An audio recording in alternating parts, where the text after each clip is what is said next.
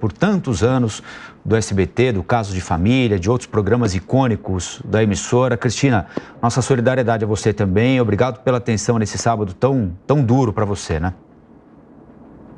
Boa tarde, Rafael. já só desculpa aqui os cachorros latindo, é que eu estou aqui no sítio, aqui em Campo Jordão. É, bom, é um prazer enorme falar com você, para todos, todos, os ouvintes da Jovem Pan, telespectadores. Realmente, Rafael, é, é muito triste a gente é, chegar e se dizer. Você sabe que me emociona? É, você estava entrevistando agora falando, né, que graças ao Silvio ele tem amor.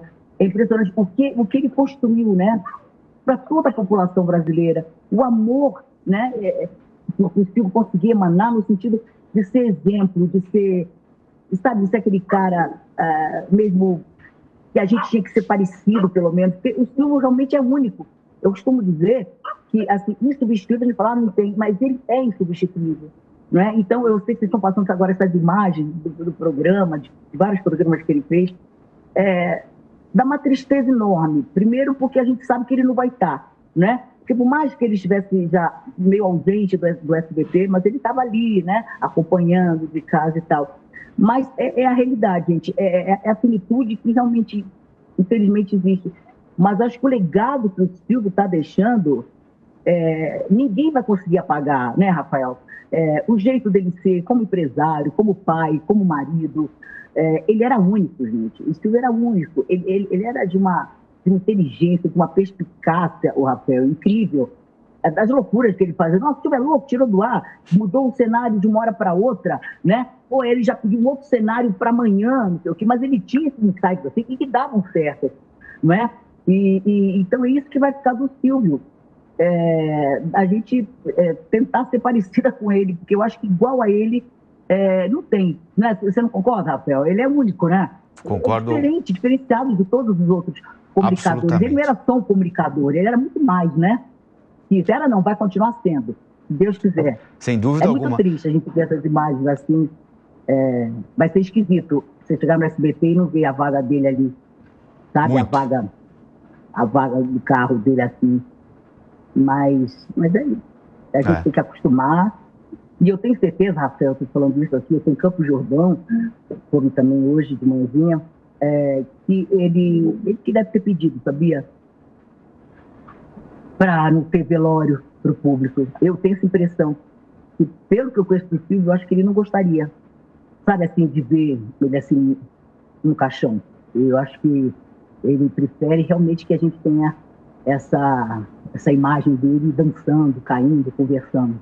É, a família. a gente tem que respeitar, né? É, a família, inclusive, publicou isso, dizendo que ele já tinha manifestado a intenção de que o Brasil ficasse com a imagem que tem dele e não com a imagem de um, de um velório aberto e pediu compreensão de milhares de fãs que certamente queriam né, é, prestar uma última homenagem, mas que era um, era um pedido dele. Agora, Cristina, onde é que você acha que ele Onde é que ele se identificou tanto com o Brasil desse jeito, Cristina? Que, que característica ele tinha que fez com que o Brasil se apaixonasse por ele por seis décadas? Menina, é impressionante, né? Porque o filme começou fazendo como, como o, o, papagaio falante, né? Eu, porque eu, sabe por que é difícil de falar, Rafael? Porque como você, com certeza, é mais do que eu, eu, eu já nasci vendo o Silvio Santos, né? Assim, então, é, é, uma coisa que já, sabe, já nasce com a gente, é uma coisa muito louca, esse amor. E eu acho que, eu acho que o filme tinha uma coisa ele não fazia tipo. Por exemplo, qualquer entrevista que ele desse, é, qualquer coisa que ele falasse, ele nunca falava uma coisa para ser agradável, é, é, para ser politicamente correto. Sabe como é que é? O Silvio sempre foi muito ele. Muito ele. É, é, o Silvio, ele, ele era tão verdadeiro, ele era tão. Ele era verdadeiro, ele, ele não fazia tipo. É, e ele era e o amor dele pela profissão. Você sabe que a alegria do Silvio era quando estava trabalhando. É, é, ele se transformava. Eu até brigava, falava, nossa, nossa até que, opa, você entrou no palco, sabe? Porque ele realmente mudava, porque o Silvio é um cara muito tímido, sempre foi. Um cara mais na dele, uma pessoa na dele e tal, reservado, mais com a família e tal.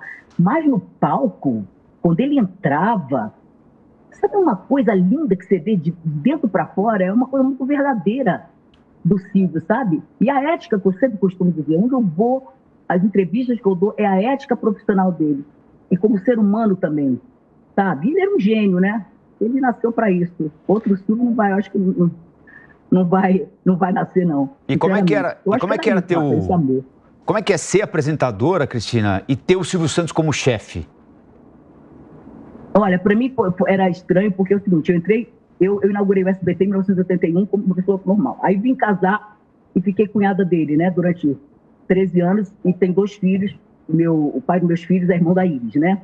Então eu vivenciei, é, eu vivi com o Silvio todos, em todas as maneiras que você possa imaginar.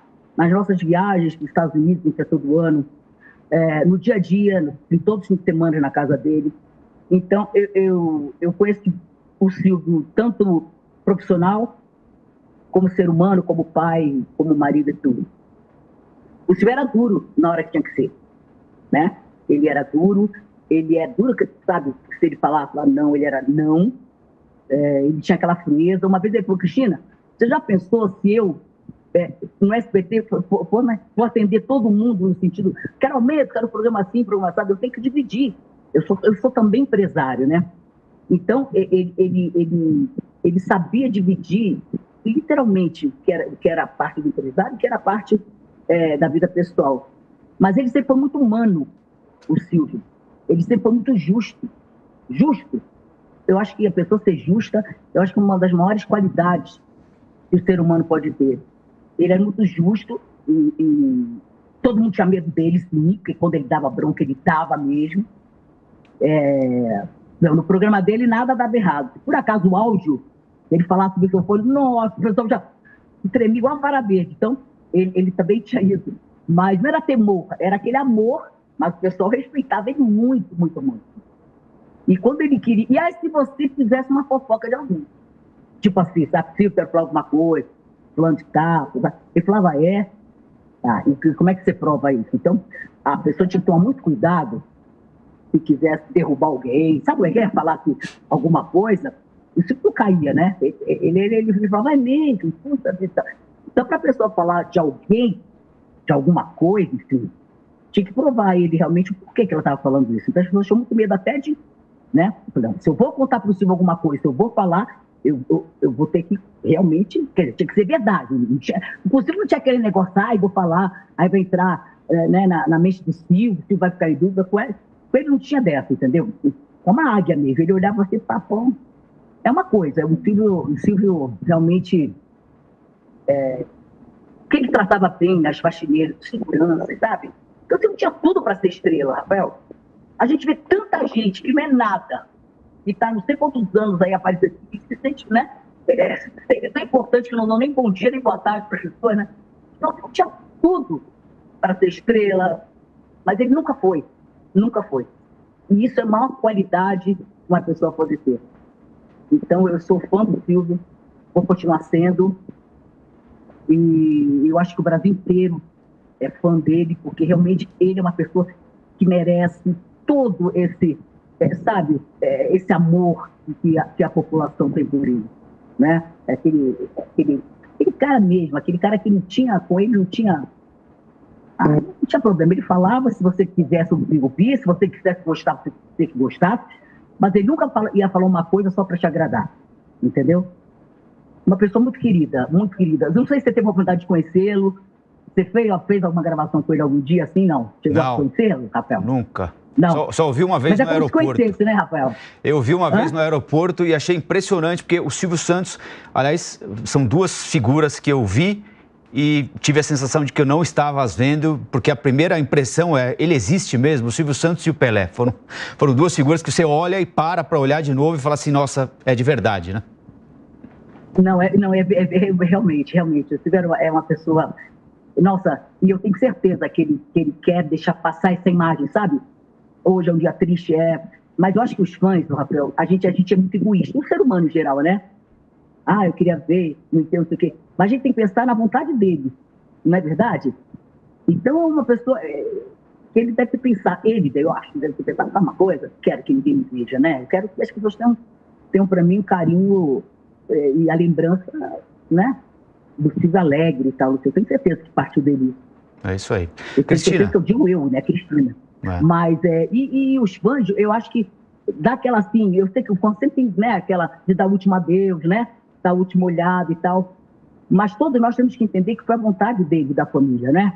Que o importante, é a gente, é, não importa a, a, a, a, religião que a pessoa tem, emanar muita luz para ele cada vez mais, né? Isso que é o que nós, fãs do Brasil inteiro, podemos levar levar para ele e levar para a gente. Que vai, gente, é reza, não importa a sua, sua religião, é, o né, que você tiver, mas é isso. É, é, o egoísmo nosso, eu sei que dá vontade, mas vamos pensar assim, não vamos ficar tristes não, brasileiros, que eu tenho certeza que o, o Silva amava o Brasil, amava todas as pessoas é, que assistiam o SBT. Tenho certeza disso. Ele tinha muito carinho, muito carinho.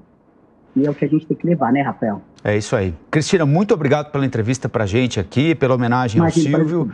E um bom sábado para você, na medida do possível, claro. Pra, pra, prazer foi meu, Rafael. Um beijo em todos da Jovem Pan, tá? E todos os seus ouvintes e telespectadores. Beijo. E força aí, gente. Muita fé muita reza, muita oração. Silvio, te amo, o Brasil te ama.